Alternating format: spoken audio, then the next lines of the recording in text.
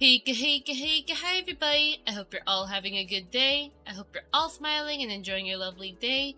So I want to make this quick tutorial to show you guys on how to set up breathing inside of VNyan. Um, so basically, if you want to add a little bit of, you know, life into your character by making it breathe like this, as you can see with my character, there is a way of doing that. I will go ahead and video edit on screen. Now you are required to join Suvidriel's Discord server in order to get this graph. Now this breathing graph is um, created by Cozy Kita as well as uh, with the assistance of Nile. So basically on screen it'll show you uh, where on Suvi's Discord server you can get the graph basically. Um, so that's where you'll get it. And yes, it's very important also um, that if you join Suvidriel's Discord server, not only will you be able to get that graph, but you'll also get many other graphs created by the community, and it's a lot more easier to set up basically.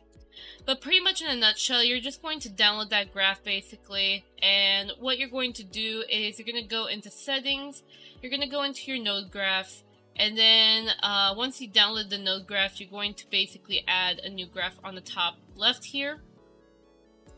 And then after that, click on, you know, make sure the graph is selected. Click on load and then load the breathing uh, v2 JSON file like that.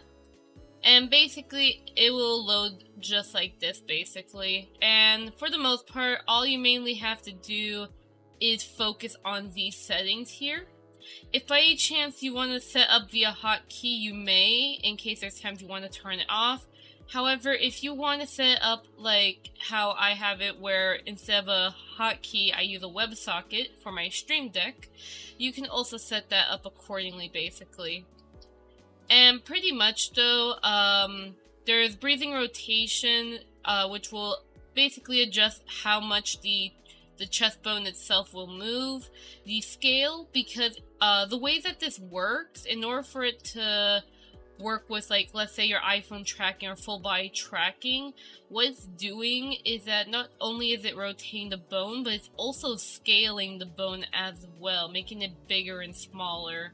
So that's how it's able to achieve that effect basically. And then of course movement as in like, you know, um kind of like you know, basically just how much the breast should move basically and then the speed. So yeah, so pretty much you can set up, let's say, um, well at least I'm going to quickly delete this graph and I'll use the one I've already had set up basically. So if I do breathing scale and I were to set this to 4, or 45 I guess, you can see how like, you could tell it is doing the scaling. Which for me I set to just 1, to just, you know, I can be able to see it, but it's not as crazy. Rotation, um, if I were to, let's say, set this to an extreme number, you can see how it rotates basically. So if you want more rotation, you can. Otherwise, I would just set to 1, keep it simple basically. And besides that, um, then you of course got the movement. Again, if I put this in an extreme amount, it, um, of course you can see it move up and down.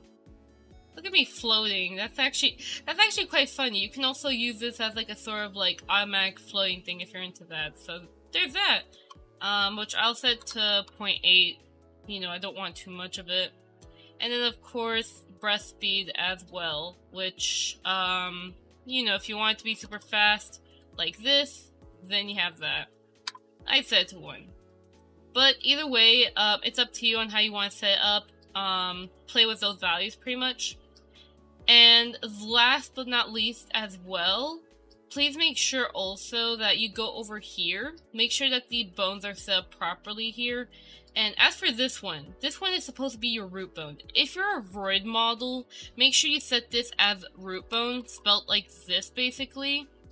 However, if you are a non-Vroid model, um, it kind of depends on your uh, model, you could set up so it's the hip bone instead, but I don't recommend that because as you can see, it'll just make you look lower.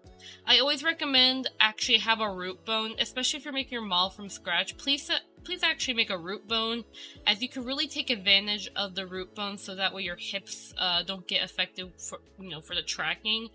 So this is my root bone basically. I set it to that. And of course I kind of broke the thing, but that's fine. But either way though, uh, make sure you set up as the, you know, the root bone rather than the hip bone though. If you want to set up as hip bone, you may, but otherwise I recommend hip bone, or I mean, I recommend the root bone. That way, um, that way you can do crazy stuff basically. So that's pretty much it in a nutshell. Uh, if you want to mess with the other values, you may. Otherwise, I wouldn't touch the other values. I only just touch this one and then the other setting for the root bone. So, yeah.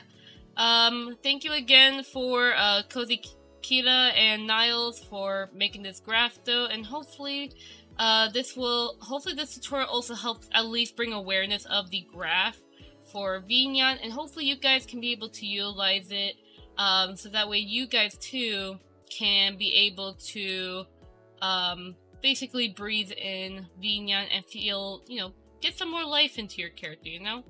Uh, but with that being said, heika heika heika sayonara everyone. I hope to see you guys next time, okay? Bye bye!